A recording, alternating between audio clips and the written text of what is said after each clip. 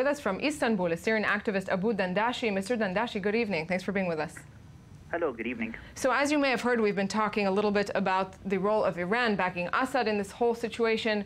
What, would, what is your perspective of Iran's involvement in Syria, of the support of Bashar al Assad? What stake do you have from your perspective of Iran reaching a nuclear deal? Well, Syria is not the only uh, place where Iran has been in the, in the ascendancy. Uh, you have Lebanon and Iraq and uh, Yemen. Uh, in each case, it's been disastrous for the countries uh, involved. Uh, Iranian proxies are less interested in running a stable, modern state and more in promoting Iranian interests. And, you know, Lebanon and Iraq are barely functioning states. Syria and Yemen, less so. How that do you sort of view of Iranian ascendancy.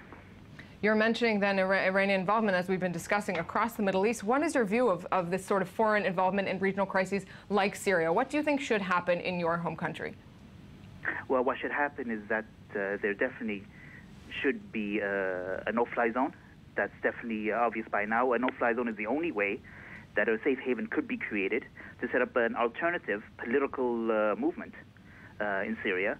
Syria right now desperately needs a third way. It is stuck between extremist Islamists and uh, the regime, the moderates uh, have not been getting the support that they need to counter the the massive support that the other groups have been getting. A safe haven is definitely a must, like like uh, like uh, Libya had, like. Uh, um, yes, uh, that's that's basically what we Mr. need right Dandashi, now. Mr. Dandashi, when we look at Syria now, more than four years into war, who are the moderates? Because when it began four years ago, more than four years ago, we maybe didn't see the Islamic State as the power it is now, for example. The Islamic State had a safe haven in Raqqa. They had two years to organize the Raqqa, and look what they managed to do with it. Same thing with the regime. Anybody who wants to uh, fight for the regime knows where to sign up. The moderates never had an address where their resources could be pulled, where people could volunteer their efforts, where uh, money could go. There was never that uh, reliable address, and that is what a safe that is that is the role that a safe haven provides. And without that, there is no use in talking or expecting a national, uh, an alternative national movement to arise unless you have the space for it to be able to, to be able to organize its activities.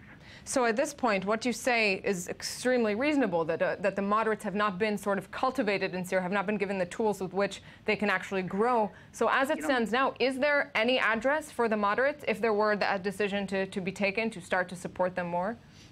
All that is needed is to deny Assad the use of his airplanes, his uh, bar barbaric uh, barrel, barrel bombing uh, campaigns, and you will see a huge change in the political landscape, not just the military, but the political landscape in Syria. And that will be best for the, for the entire region. Uh, just one last note, since we're talking about the Iran deal all the time here uh, in the last hours, what would you like to see happen in the negotiations?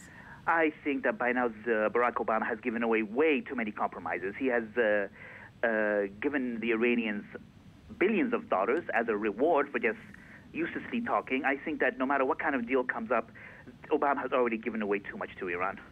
Aboud Dandashi, thank you very much for being with us tonight. Thank you very much.